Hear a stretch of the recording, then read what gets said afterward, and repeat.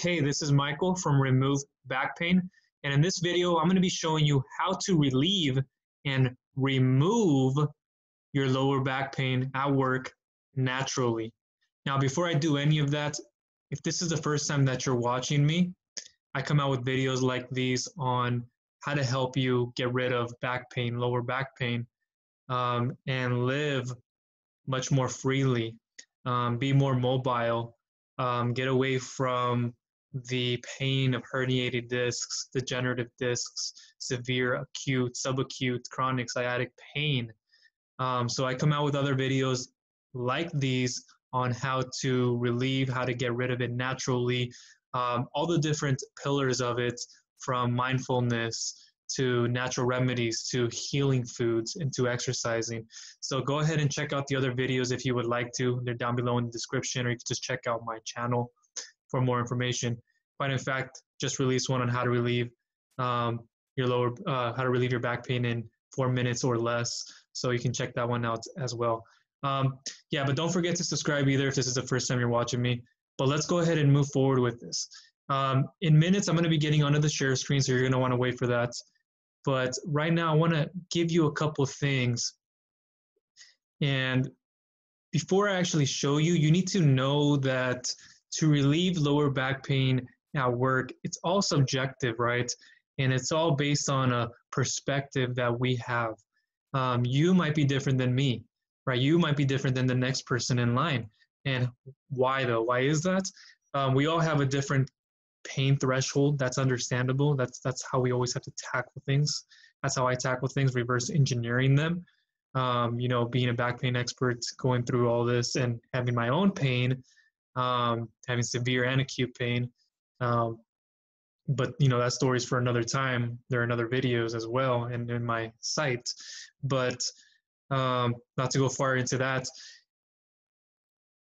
We all have a different pain, but we all have we all have to manage it in a different way, right? You keep hearing from people who are like, you know, just take painful medications, just take another NSAID, take another opioid, take another bit of that acetaminophen and you'll feel okay. You know, take take a little bit of that Advil and you'll be you'll be good, right? Just like it's been marketed all over the TV and everywhere else on the internet.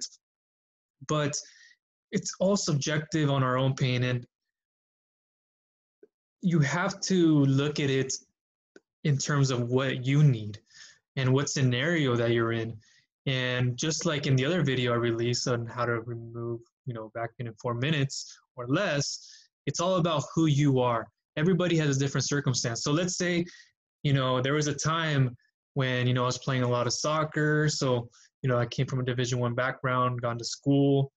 Um, and so, you know, there's different aspects in that scenario. So if you're working, if you're like a coach, or if you're a student athlete, right, your work might be to perform in the classroom and to do things on the field or for your sport. So how do you remove those things? You got to start off with um, stretching, right? Stretching is one of the biggest keys, right? And that's not only for when you're out on that field, but when you're in the office, kind of like where I'm at today, kind of sitting in my second living room doing this, but I have my own office space. Um, but it all aligns with how we stretch and not only stretching, but in our breathing. Okay, so you know, before you get into your construction site, to your construction site. You know, I've done construction jobs in the past.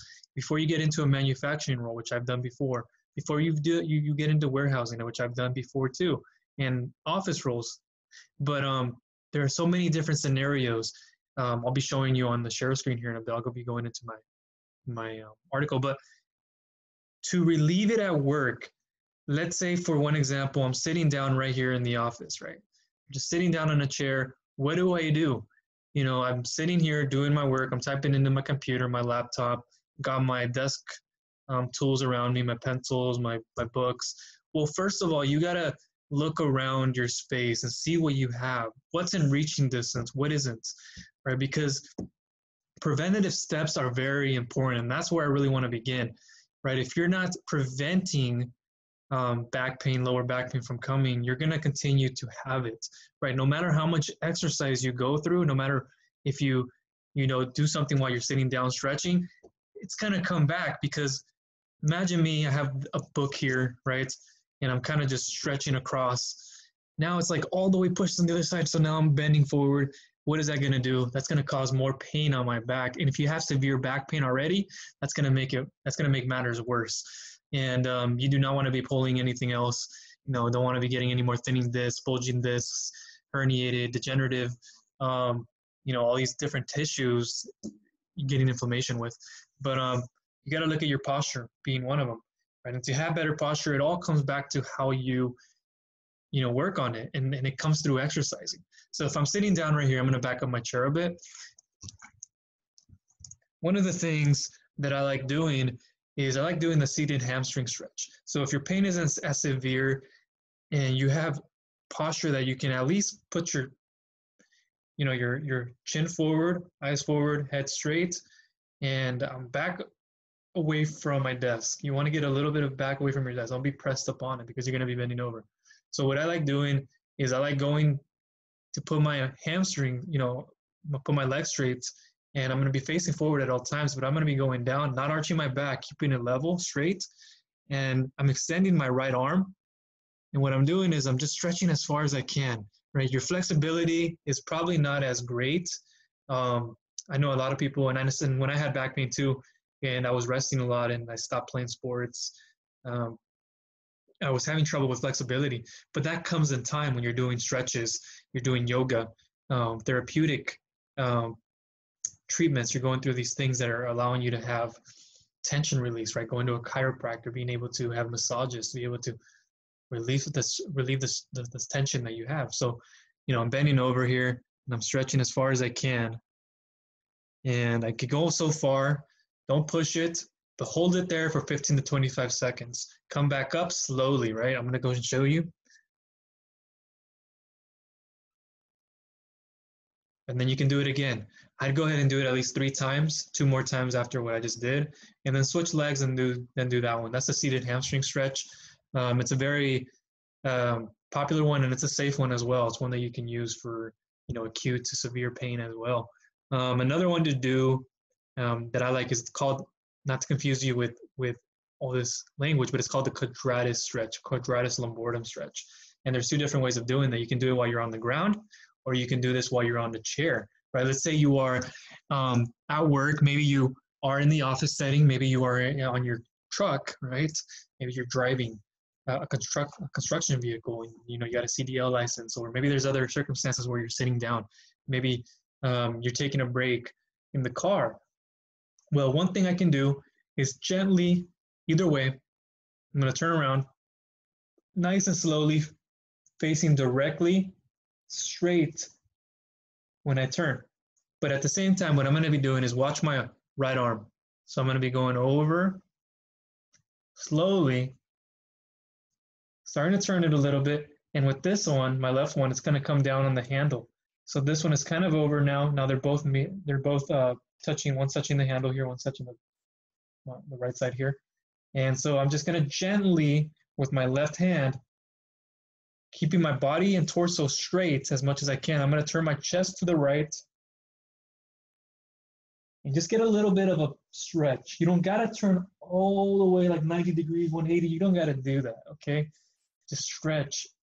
Once you're here, you stretch. You feel it right. I'm gonna feel it on my left side right here. My that's the quadratus stretch, kind of where like the ribs um, and the like thoracic spine disc kind of meets with the lower back um, portion of it, and it goes down to like the hip area. But you want to be able to go ahead and turn this over and stretching it and stretching it. Hold it for 15 to 25 seconds. You can come back to position and switch sides. Um, don't stick to one side too much. Switch the other side. Do it the same the same way, right? I'm already here, so I'm gonna kind of give you a little demo.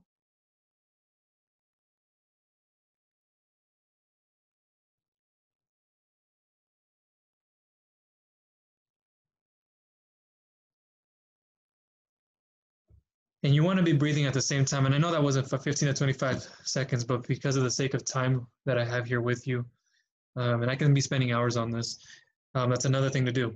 That's a very popular one. Um, do it in different circumstances when you're sitting down. Um, even when you're standing, I want to give you um, a little bit of that one. Um, so when you're actually when you're sitting, you can do this one when you're standing as well. But you can just reach for the sky right here. This is a, this is the one where you're reaching up. You're reaching up, and you're going like this, and you're going. Oh God, it feels good. And you'll you'll notice if you if you're not if you haven't been stretching enough lately, you'll feel it at the top of your upper back where it starts to tense up, kind of like you're almost going to have a cramp, but it's borderline. Sometimes it does if you hold it for longer. And then you want to let go. 15 to 25 seconds.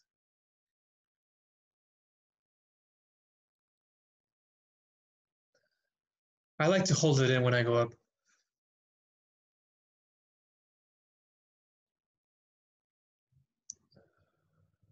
Then come down and release. So if you were standing up too, you would do it and you want to stay on your on your tippy toes is what you want to do as well.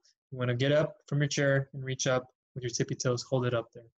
Um, and then you can also do the little side to side. I know I'm not standing up right now for sake of time, but um, stand up, do this one as well, where it will stretch your quadratus as well. And there's another one where you can do it sitting down, where you're, going side to side. But it feels good. It gives you a stretch, and it, and it, and it um, creates more flexibility, and it's always going to give you more strength. But important part there is flexibility because you want to get through your day at work, right? Strength will come, but that's something that you normally work on your own time, right? When you're going to maybe a chiropractor after a chiropractor physical therapist or you're working at home at it.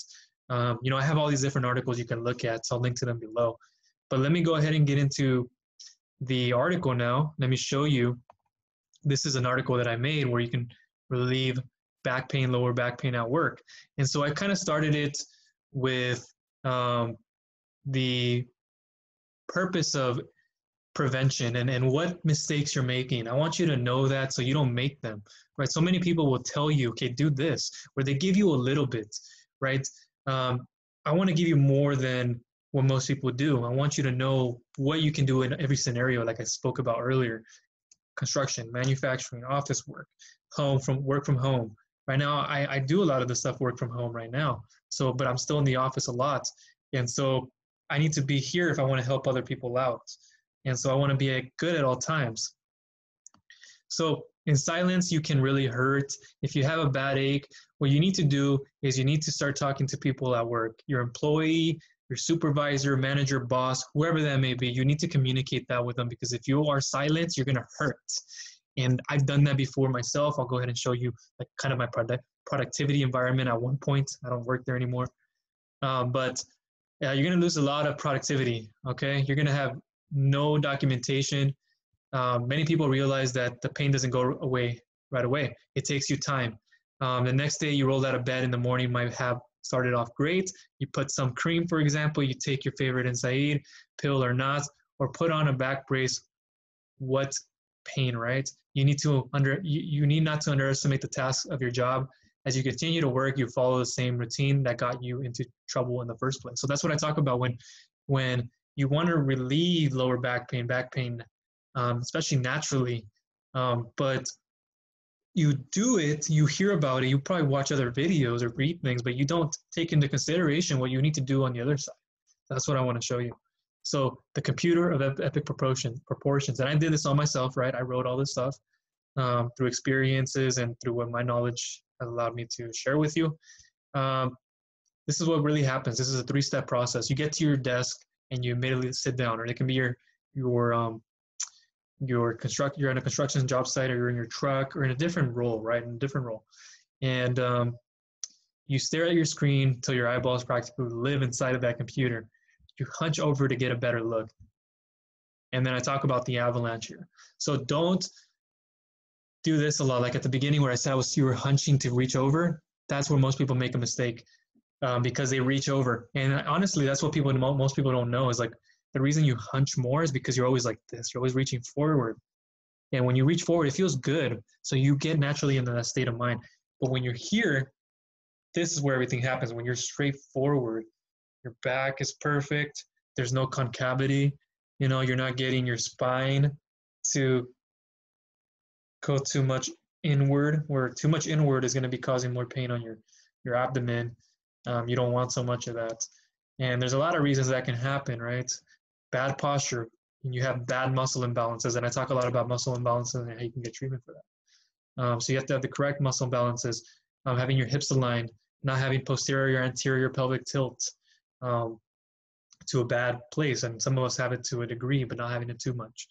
Okay, you're on company's time, right? And so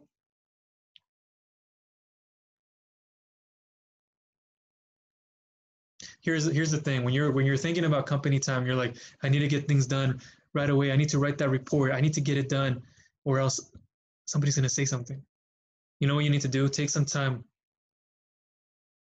Relax. And i talk about the four seven eight breathing technique. So in any situation that you're in you go you breathe in for four seconds and then you breathe in for another three seconds for a total of seven and then eight let it go. Watch.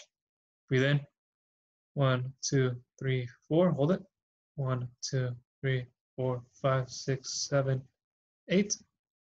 Release. So you want to do that over and over, and that's going to help you calm down. Okay, that's going to make you um, think more clearly.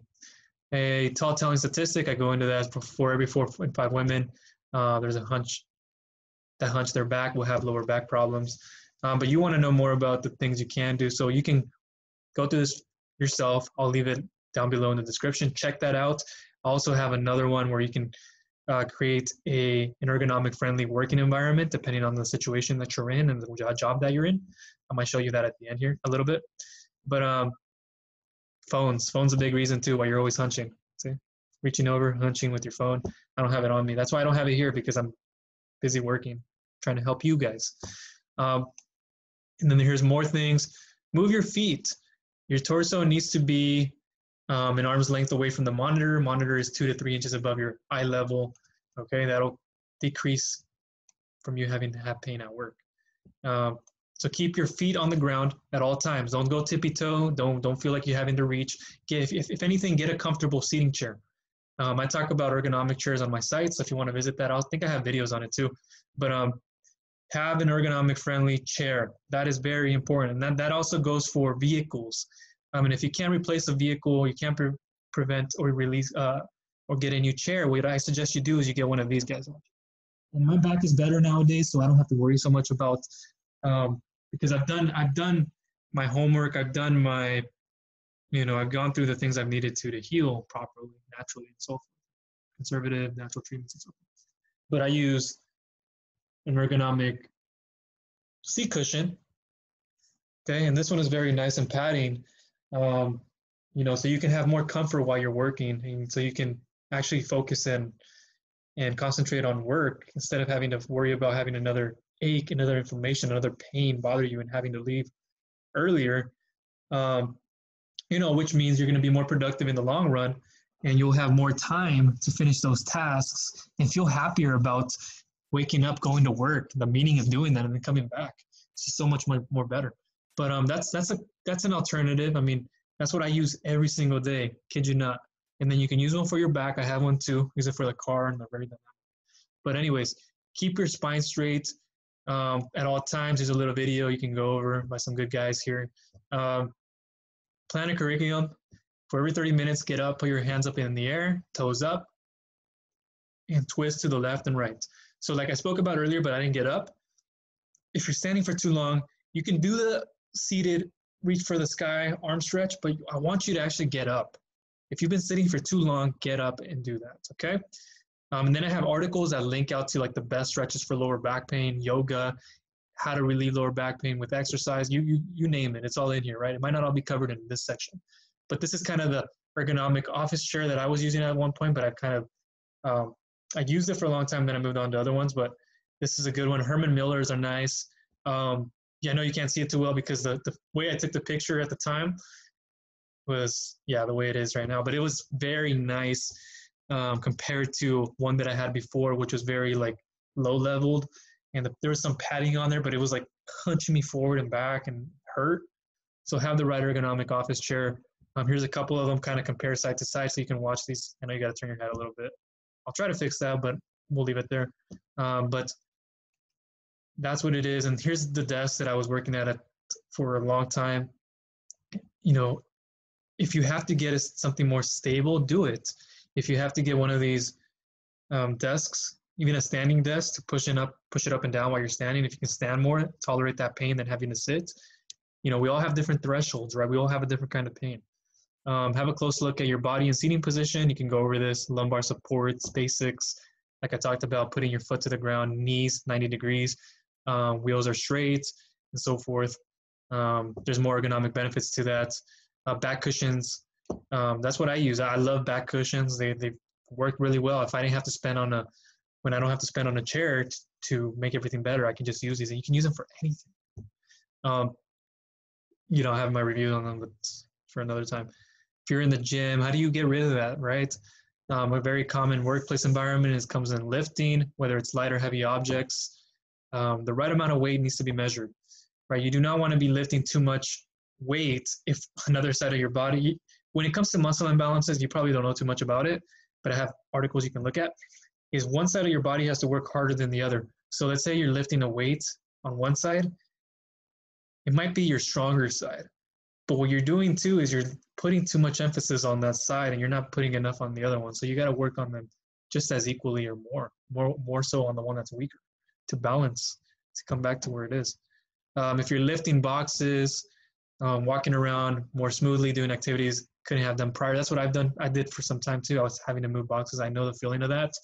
Um, it's stressful. But if you can wear something like a back brace, have the right one in place, so you can tolerate the pain and you can keep your spine in balance straight, um, you can go ahead and do that. Um, so there are so many different ways of doing it. Make sure you're not living, lifting too many heavy boxes. If you can't tolerate it, stay away from it. Herniated disc, sciatica, that kind of stuff, it'll come back much faster and it'll hurt. Trust me.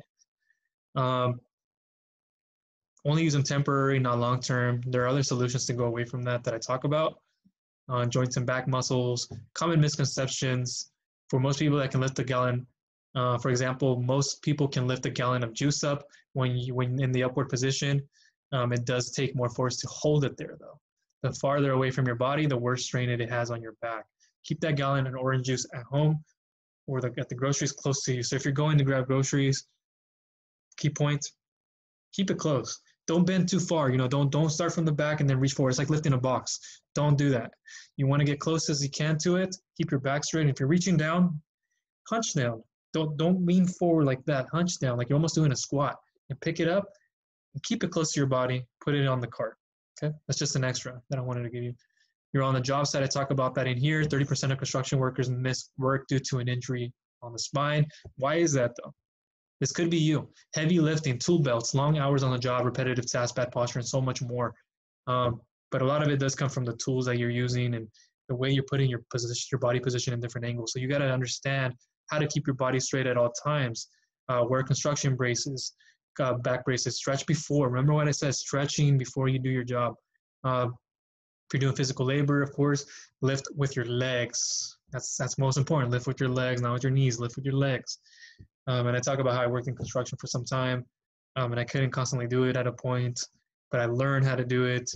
Uh, manufacturing, I did manufacturing too, quite in fact with my dad, and um, work in a warehouse environment. Walk around the complexes, stand up from a from a chair and reach for the hand for my hands for the sky, the sky stretch. Walk to get a drink of water. That's the biggest one I think out of all. Um, fluids. You need to be drinking fluids water with mm, water with a lemon is okay. That's actually good because it works with your electrolytes and your electrolysis. But it's that's that's topic for something else. But um, brings in more salts, gives you more stability, lubricates like a lubricant. But if you can drink water, go ahead and do that. Um, it's going to lubricate your spine. It's going to bring more fluid to your your um, cervical, your the the C1, T1 and then your lower back, thoracic and and lumbar. So you got to do that because it's going to hydrate your discs. If you have severe disc pain, it's you need to you need to hydrate them, your facet joints and all around your body. Not just that, hips and joints and so forth, joints, muscles. Um, it's kind of what I was lifting out of point HP boxes for a bit. The trainer and the athlete in you. You got to be careful when you're doing these things. You got to be stretching before the activity. Personal trainer, trainer, student athletes how to build your own ergonomic workplace. Um, and I have that here. You can go ahead and check that out. I'll give you that for a quick second here so you can look at it. Then I have the remove back pain system where it goes step by step from the beginning of understanding what back pain is to your own catered way of healing, right? You click in an article, you read that one at the bottom, it'll show you another one. Go to the next part, go to the next one after that, and it's all for free. Um, so I'll have that link to as well. And I have, you know, my guide where you can go ahead and um, I think it's like five steps to being able to remove back pain. Um, and I teach you how to do this in your 24 hour day, seven days a week, right? I'm going to teach you how to do it Monday through night. What should you do on Monday? Uh, what should or what should you do on the morning, the afternoon? If your looks like this, if your if your evening looks like this, if your nighttime looks like this, depending on your needs, right? So that's all in there. Um, and then let me kind of go through this article that I've linked to before. I would have backed space, but I want to just show you this one. Actually, you can already see that article, but I'm going to leave it all on one tab. Um, there's really not much need for that. Okay, here it is. Um, so I talk about how to build an ergonomic workspace for a bad back. You want to go through this. I won't spend too much time on it, but you can go ahead and get that article down below. Why ergonomics really should matter to you, and what I can do. Like what what I would do, how you would do is step one is do this. Step two is do that. Step three, step one on this example. Step two in this scenario. What suits best for an ergonomic workspace depends depends subjective and relevance relative to what you are doing, right? Um, small calorie burns, increased productivity, less back pain, standing desk, seat cushions, obviously, if you, you, you name it, it's all in here, okay? Um, so if you wanna know more about this, and if, hopefully you learned a lot about how to re, uh, relieve, but also remove your back pain while you're at work. Um, and it could be at home too. So I have articles on that if you want to look at it but take it day by day. It's relative and subjective again to who you are, and not everybody's going to have the same thing. Right? You won't always be sitting down. You won't always find yourself in an office. You'll find yourself at a construction site. You'll find yourself manufacturing in different roles, warehousing. Doesn't matter. At home, um, but you can relieve it if you follow those steps of stretching. Remember what I showed you at the beginning: quadratus lumborum stretches to the sides, while reaching for the sky, hand seated hamstrings, um, just kind of putting your posture like this, craning forward, coming back a little bit. It's another one. Um, and so many other methods of doing it, um, like I went through in this article. So if you have any questions on this, I do want to hear from you. Let me know in the comment section down below. Um, if you have any suggestions, maybe something you've tried in the past that you want others to know that nobody else would know about, um, more stretches are in here. Um, I'll leave articles to that as well. But um, yeah, let me know what your thoughts are. If you need any help, um, questions, concerns, and I will be here to answer them for you. All right, that's it for me. Thank you, and talk to you another time.